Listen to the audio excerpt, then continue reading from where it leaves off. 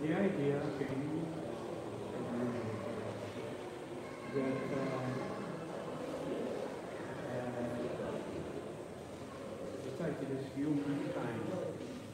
So the concept started with the landing on the moon. There, the projector. Um, the, it was a big event for humanity. as you know. Maybe you are not you are not on that. I was. I was Child for sure. yeah. So the artist asked himself the question after the big event, technologically, humanity, uh, humanity did progress or the other way around, or the So, as you can see here, this is the first work. Um, it's called Bastions of Glory. And over there, there are this is an installation. The painting is part of it. And the Ukrainian war. So those are the countries, cities, cities, which uh, Got mostly affected until now. so this is one of the major works. But of course, the does tell us, uh, it wasn't just a regression, it wasn't just something uh, which negative, because the artist is also that there are positive aspects of it. So we do that. So, about this installation is that Vessels of Glory started in a different way because um, I had an idea, I wanted to go somewhere, but I wasn't sure where to go. So I felt that something additional was needed. And the entire concept that we developed was that there is an additional installation in front of the painting, uh, but how do you attract attention on something bad? So there are many wars around the world, and I had to choose one. And there were reasons why I chose this one.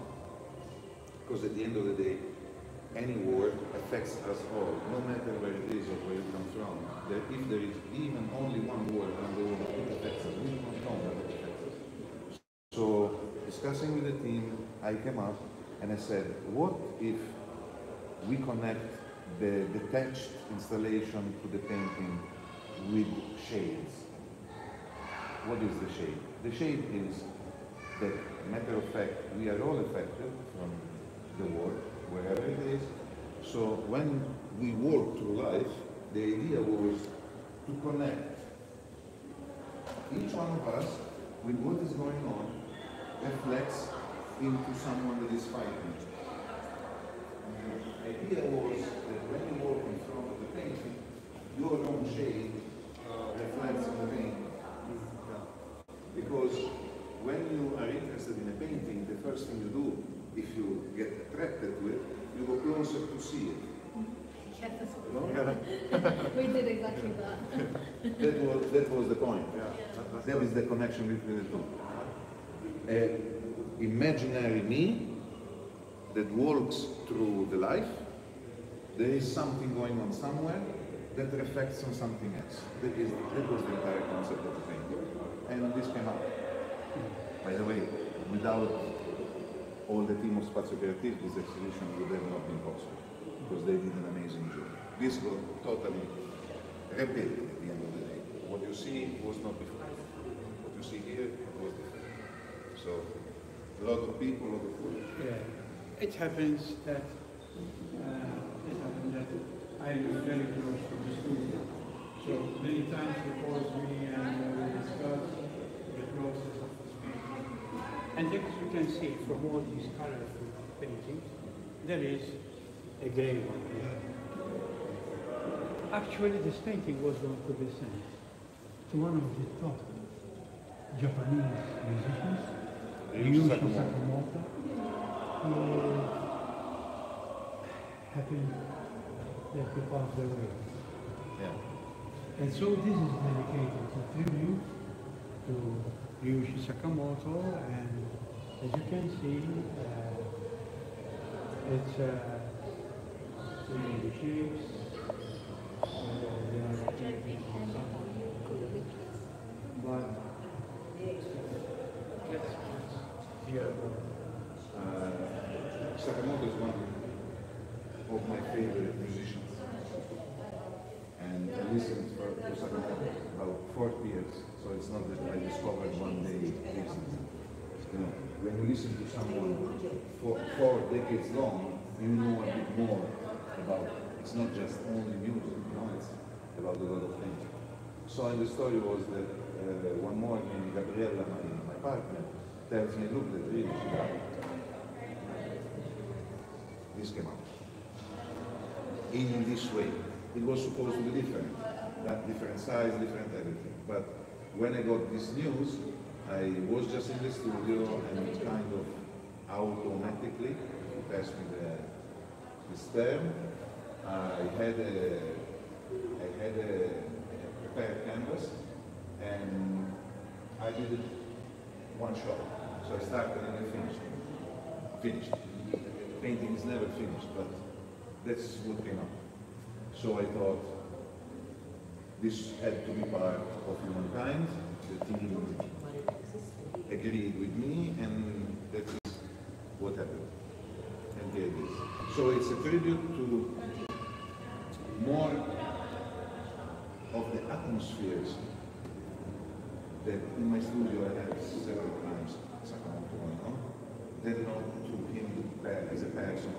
Just the atmosphere that I felt listening to Sakamoto with this information that arrived at kind of shock, you know? And that's why here it's about humankind. So every single painting is a story of mine related to somehow humankind. different cultures, you know, when any nation, uh, when they are going to get married or any country, any place. And this next painting, which is also forms part of the cover, um, you can see sort of symbolical shapes. And uh, when we painted this, asking a layers, layers, these two,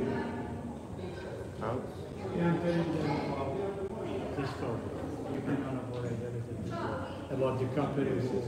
So this is this is dedicated to um, to uh, a couple of friends of mine, which are uh, which are a couple since a while, and we all know if we have a relationship uh, with someone else that we have high and lows, and everybody has his own character. And I always noticed about these two friends of mine uh, that he has a character and she has another character. So, and you know, the married couple, you wake up some days that you are moody, you know, or whatever. In a relationship, not everything is always going up. Sometimes you have up and down. So, and I wanted to do a painting, and I asked them for each, uh, each one of them to give me one shirt that was very precious to them, whatever the occasion, you know. So, and without knowing from which occasion I got the shirts, I tried to create something dedicated to um, a trade union, uh, a, a common path, a common path.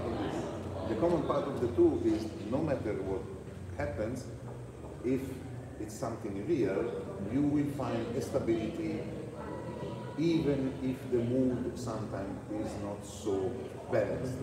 So the title is In the Moonlight instead of In the Moonlight. And this painting goes uh, in, a, in the most intimate place of a couple that is the on top of it. That's the storage. So it's them with two pressure space them that are under the moonlight and that's it. Hmm. Simple story but very touching. I thought I was like, sunset, like, you know, the, you know, the That's the moon. flag of Japan. That's the moon. Under the moon. You know, some some some nights you have this incredible moon with an atmosphere that you can really see good full moon, no?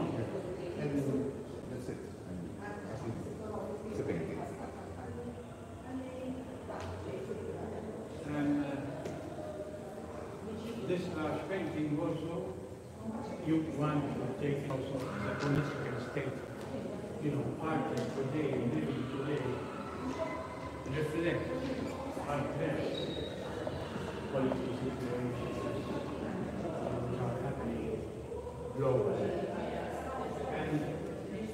went to visit,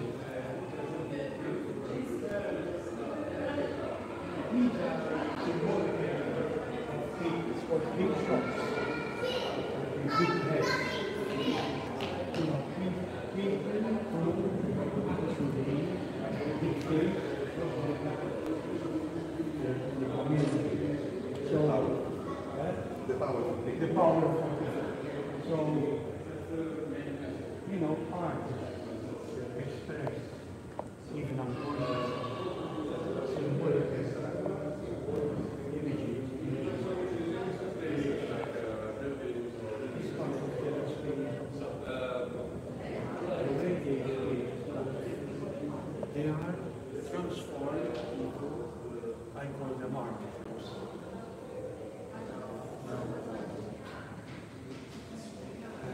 you try to something different. And his psychoanalytical study of dreams, that uh, a person and his dream, dreams uh, emerge from the unconscious. And these images are termed as archetypes. So, in humanity, we have various archetypes, experiences,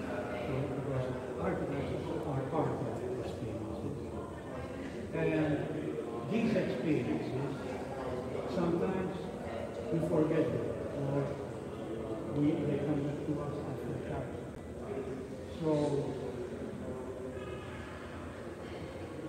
they are common in people. And that's what uh, Jung discovered. Uh, he is the father of psychoanalysis. Uh, and although he studied with Freud, he split from Freud because Freud is the father. One saw that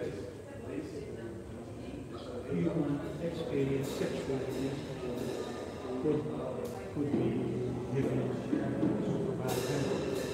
But on the other hand, Jung said no, something spiritual, something innate in the person. And his terminology, like, is something which, uh, to give some examples, of his work. the archetypal warrior. We all have that archetype, but it comes out depends on the situation. There is also uh, the archetype of the old man. The old man or the old woman, to the fair gender, uh, they have a whole life of past experiences, and therefore they are rich in their what they relate to the other. So the archetype of the old man uh, is uh, in us as well. It grows within us. There are many, many of them. You read many history top books, but he started writing at the end of his life, and other history